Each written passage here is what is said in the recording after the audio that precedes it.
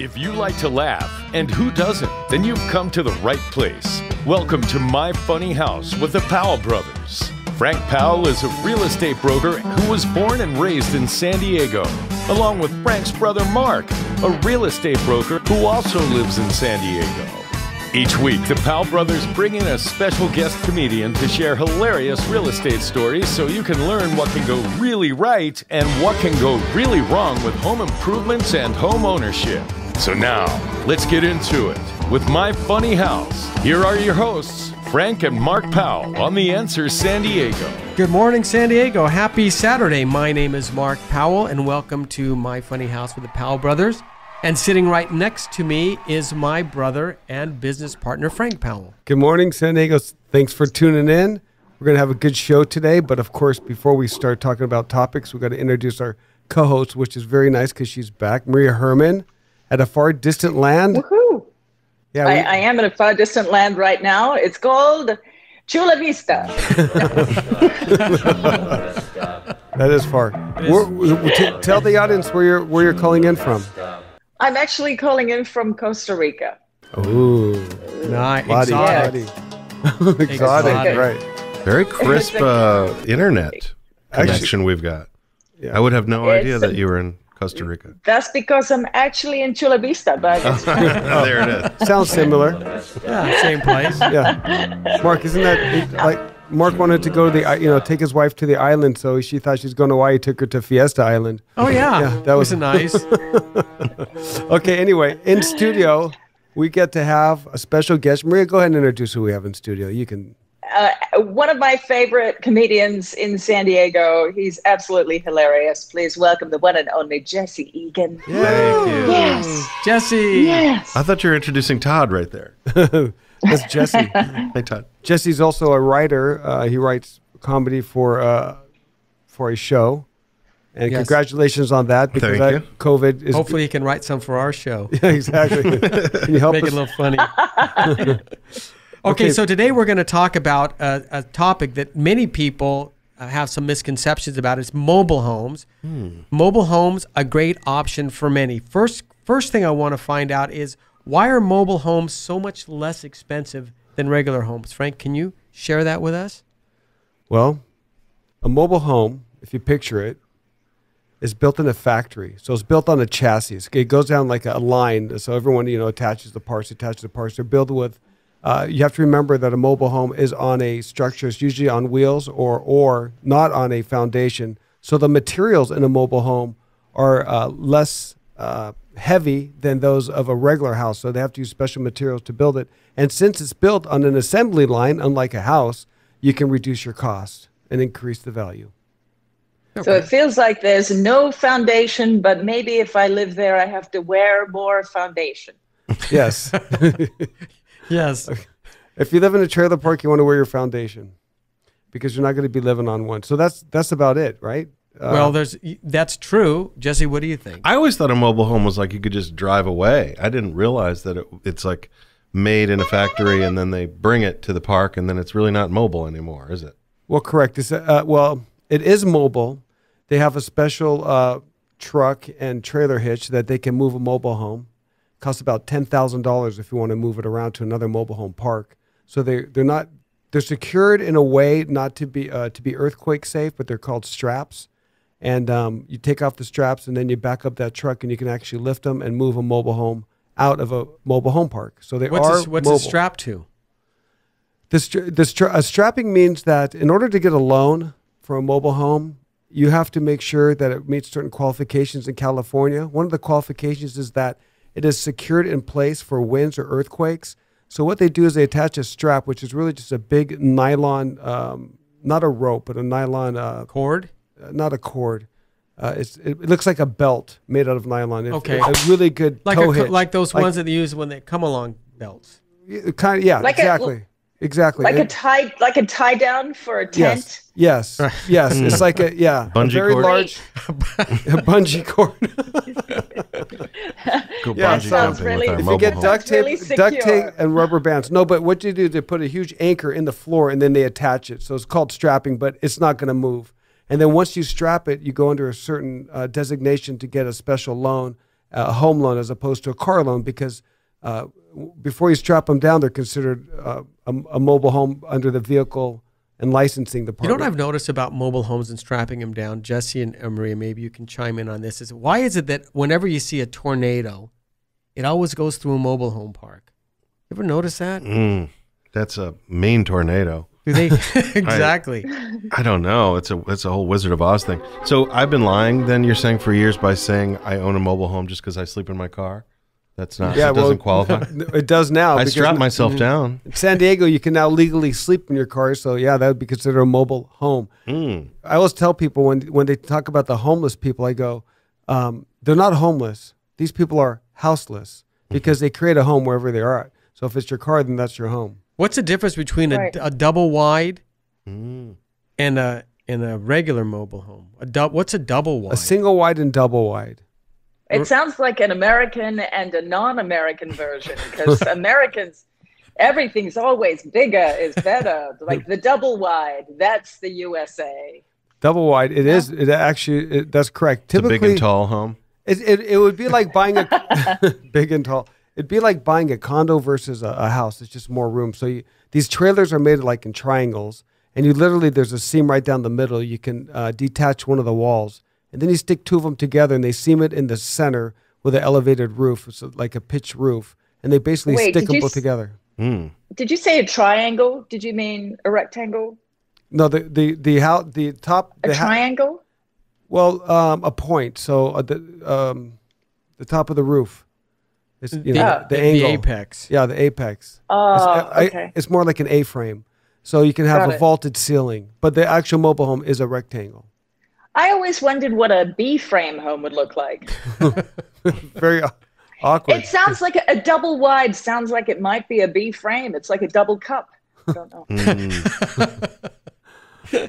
That's funny. call, call them a double Frank, D. Frank, what's the difference between a mobile home and a manufactured home? Because you hear these dollars a people say, uh, "I live in a manufactured home." Manufactured homes are very simple. A manufactured home means that they're building your regular house, like just picture a house on, in a neighborhood, but they're building it in a factory. And what they do is they put, they put like the truss the trusses together, they put the walls, they have it all complete, which is really regulated, which is a really good thing, as opposed to building it on site. So then they bring the whole house to your foundation and they put these walls up, they put the roof up, they put the trusses up, they put the joists up, and they they make your house. So it's considered a manufactured home because it's not made on the site. So when you It see, sounds like an it sounds like an Amish raise a barn.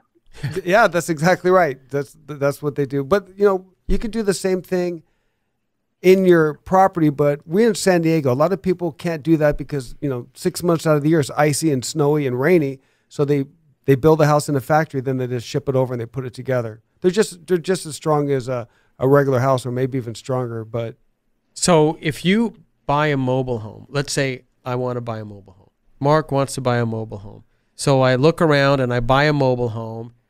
What after I buy it, where do you what do I do with it? I mean, is where do I put it? mobile home park. Okay, what's a mobile home park? Mobile home park is an area where three or more uh, manufactured homes are created for a profit.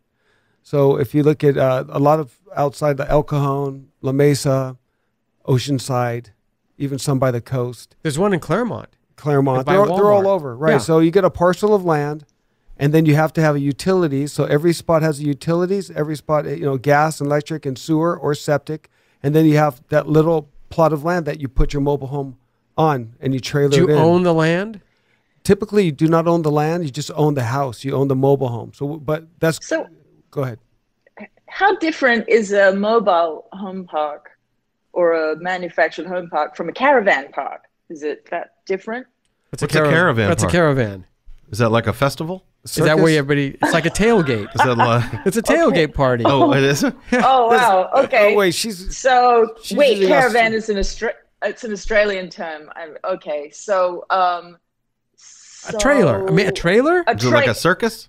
no no no there's a there's a mobile home park and a trailer park This is a traveling carny yeah, thing, tra- isn't it? yes. They're Ferris wheels. Trailer park. ferris wheels yeah one of them has a ferris wheel in the middle and one of them doesn't no i know what you're saying you're saying what's the difference between a trailer park and a mobile Yes. home park A trailer park Thank is, you. is where you rent only two or three days. You bring your own trailer in there. You can stay up to a week or, or maybe longer, but you're not there for permanent residence. A mobile home park is where you get your mail, where you pay your bills, where you're going to live. It's it's permanent. Which one has funnel cake? That's my favorite. That's one. the I'm still thinking about the circus and those little those poodles that jump around and dance. You ever seen those? No, what circus is that? It's the caravan circus. They train poodles? Remember, there's there's special parks that do 55 years and up, and there's a lot of poodles. what does that mean? Well, what does that mean? 55 years. I've and uh, up? toured those actually. Vicky and I did a comedy tour in Arizona of some vast trailer parks, and uh, 55 and up. I mean, they were 55 was very. That's a very young yeah. uh, audience member for what we had. Everyone there was at Right, and least twice that. Vicky li- Vicky lives in a She trailer park, lives in- right? she's the trailer We're- queen of the we're trailer talking, park. We're talking about Vicki Barbolak, Mm-hmm. who's been on America's Got Talent, and she's just uh, uh, unbelievable. Tours What- the country. She claims Jesse- she has a Jesse- fancy trailer. It's up on top of a hill, and she looks down at all the other trailers. Well, it's absolutely uh, what what people are doing now with trailer homes is they're seeing that it's a better value because they cannot afford a regular house. So it's an option. But what people usually picture, which is bad, is like trailer trash, and they have all these terms for it. But it's not anymore. It's not like that at all. They're nice. You no, can make you can make yeah you can make a trailer, and I've done it before to five or six of them. You could put you know the, the granite, all, all all the special appliances. When you walk in there, you can make it look so beautiful. So when you picture a mobile home park, don't I don't know what you're picturing, but picture beautiful, beautiful houses on the inside. And what's cool, the way they're designed is that you have a roof on both sides because one of them is for a patio and one of them is for parking your cars. And on both of those roofs, you could put solar panels. So you can run a mobile home park almost free and clear and have no carbon uh, footprint, which is nice. And that's what people are looking for. Was it cheaper than renting to live in a mobile home park? Well, if you th- right now they're increasing because um, there has been a buyout of most mobile home parks in all of the U.S. by um, who's that guy, the big guy who buys everything? Um, he owns the railroads too. Yeah, Who owns the railroads? um, the Monopoly guy? Buford Pusser? No, no, No. Um, uh, Walt know. Whitman? no. The guy that does all the Elon Musk? No, Uh, no, Jeff. Bezos? No, he does all the stocks. He's a bonds. real. Um, the biggest guy. He owns Berkshire Hathaway. God, I can't believe I P can't- Diddy. No, Come on, Am I getting closer? he did Diddy. Am I am I warm? he's in trouble. That guy. Forbes. or no. Forbes? No, Is that no, no, not, not Forbes. No. Help us out. Google who who owns Berkshire Hathaway. What a what a waste of time on a radio show. Who owns that? Um, I don't know. He's right on the tip of my tongue. You know what I'm talking about? Will about? somebody please email us or to Yeah, call somebody, somebody call in. It's, everyone's screaming the guy's Your name. listeners know. Anyway, In any event, so Warren Buffett. Santa buy Warren so Buffett. Santa Warren Buffett. up- Thank Warren you. Buffett. Thank there you. you Oh, go. Warren So Warren I thought he Buffett- was a singer. no, that well, that's no. He's Oh, not that's a singer. Jimmy. That's his. Yeah. That's, That's his. Margaritaville, which is also a trailer That's the strangest song ever. It's, if uh, you after you listen to the song, yeah, he hates yoga. yes, everything. loves rain.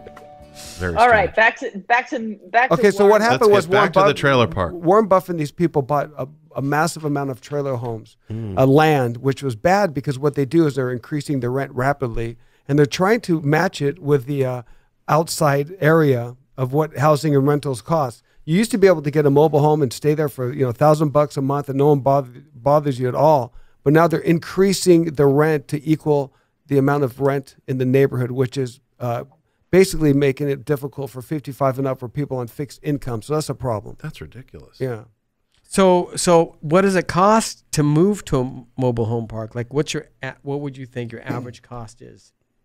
Well, to, in order to get in, you have to qualify because you have to fill out application. They don't just let anyone in there. You have to mm. you have to either buy a mobile home that's already there, that's for sale, or you have to get a mobile home. Now you have to understand there's a lot of mobile homes for sale across the U.S., but California regulations will not accept like a mobile home from Arizona. There's different things in the material. There's different ways. Really? Yeah. There's different uh, ways of how they build them, and they have to be California regulated, California uh, quality to move in. So you can't just buy a mobile home in uh, Arkansas, move it here. It may not qualify to be in the park. Then it really isn't mobile.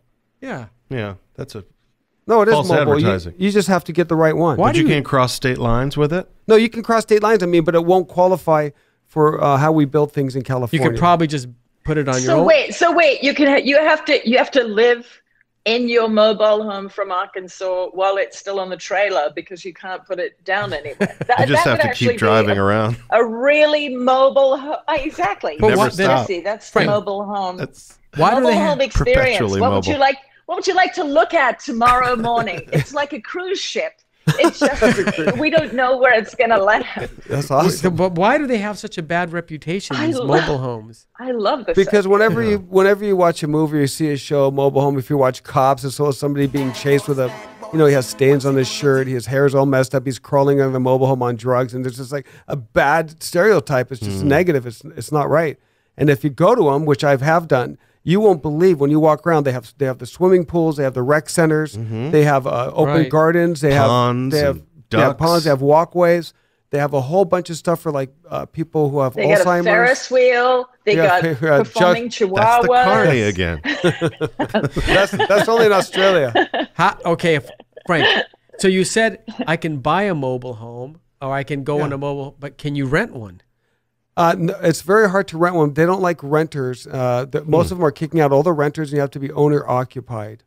Really? Yeah, that's one of the regulations. And most of the parks, in I know in San Diego. So how much does a mobile home cost? Like if I actually I go, I want If you want to buy a, bo- a mobile home, you can get a really, really bad one and fix it up for like forty grand still, and then you have to put the money in. But 40 right now, if you go to like places like Oceanside where there's mobile home parks right on the water, Mm-hmm. they go from three hundred fifty to four hundred fifty thousand. They used to be one hundred to one. No, they're they're up there now. Yes. Wow. Three hundred fifty thousand dollars for a mobile home, and you have a. Uh, But you're slight- right on the Well, you're not. You don't even have a view. You have to Right. walk out, but you are on the water. Does it? It doesn't even have a motor. Wait, uh, wait. Yes. But you don't own the land, right? You just own the home. There, there's there's some mobile homes that they let you own that parcel of land, but most of them will not allow you to own the, the, the land, and they're still that expensive. You'll get like you'll pay about fifteen hundred dollars a month, and uh, you get all the services just like you're in a condo. But the house is the house. It's just like buying a condo. Uh, when you buy a condo, you don't own the land either. You're buying air. So it's just like just like saying if you buy a condo for five hundred thousand, you don't own the land. You only own a block of air inside of a building. So it's just like that, but but it still costs you 400,000, 500,000. So they're still cheap. So people are looking at them as a different way. I to think it's more than a block of air affordable. inside a building. What's that? It's more than just a block of air in a building. You you get a refrigerator. Oh, you get the refri- yeah, and the microwave. So you know, Cold air. well, you remember people used to buy uh, people used to think the in- investing in condos were a bad thing at forty thousand dollars. They go, I don't want to buy this. I'm just buying a. I, I don't own anything. And however, Little did they know. Little did they know that now they're five hundred thousand. That's what mobile homes are doing now. They're Wow. they're the alternative to a granny flat.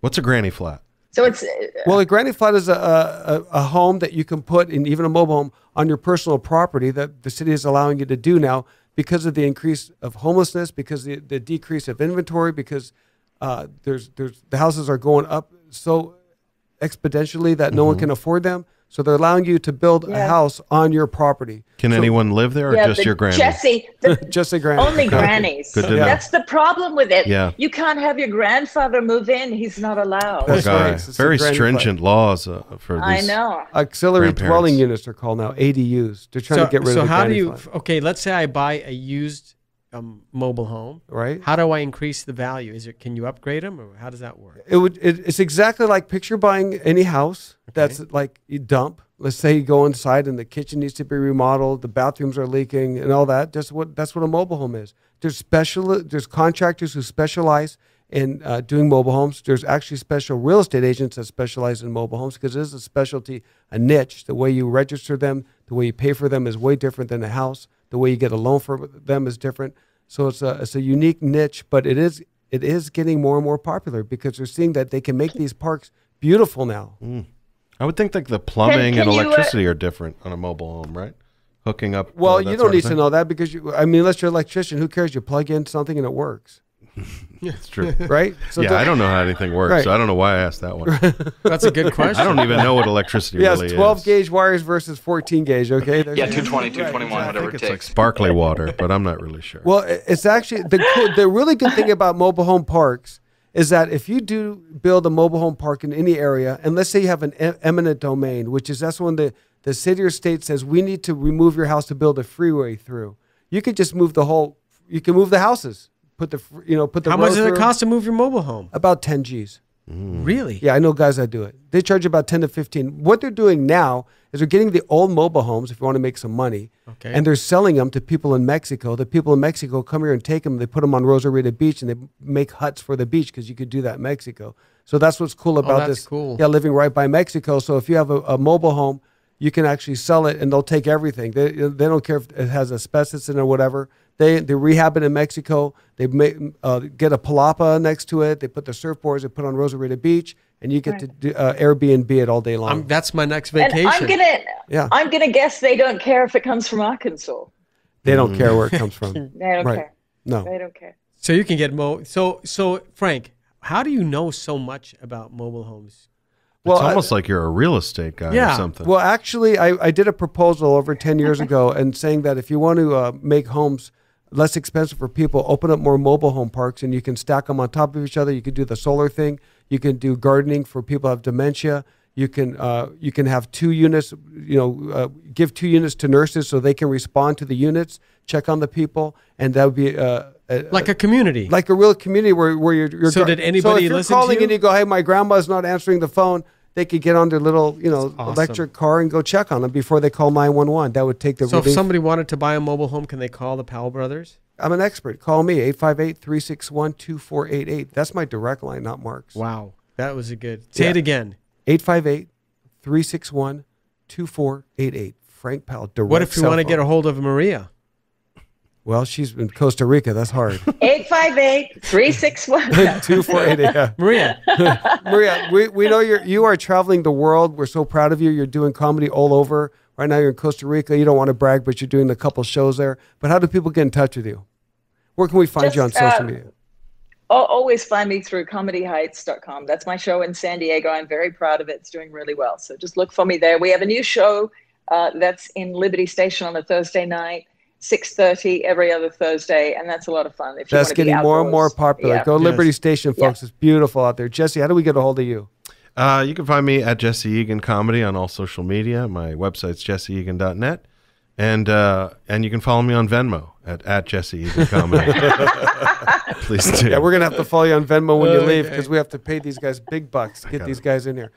Well, anyway, Mark, how do we get a touch How do we get a uh, hold of us? Well, you tell them. Okay, it's real simple. You can look us up online at powellbrothersrealty.com or you can call us at 858 922 7725 and we will answer all of your real estate related questions. You can also look us up at YouTube. Just go My Funny House with the Powell Brothers, and you can watch us talk to Jesse and Maria. So we sell mobile homes, condos, and uh, residential homes. But guess what? We also do commercial properties. We're, Yeah. we're selling a lot of commercial properties now. A couple listings on those. Those Yeah. are nice. You'll Guys sell Ferris out. wheels. Yeah, Ferris wheels, any kind of juggling, Exactly. tickets. Carney supplies. So, shows. th- th- so listen. If you're gonna, if you if you want to look at mobile homes, really look at them. There's an alternative, 55 and up, and they have 55 and lower. You can have kids. You can have fun. It's another way to look at housing, and it's not a good. I mean, it's a super good deal. Don't look down on mobile Yeah, homes. they're the great. next. Yeah, Yep. they are awesome. Really. I really like mobile homes. Okay, everyone. Thanks for tuning in. Thank you very much. good. Thank you. Thank you for listening, That was everybody. sweet. Have a great Saturday. Bye bye. Thanks so much for joining us today for My Funny House with the Powell Brothers, right here on The Answer San Diego.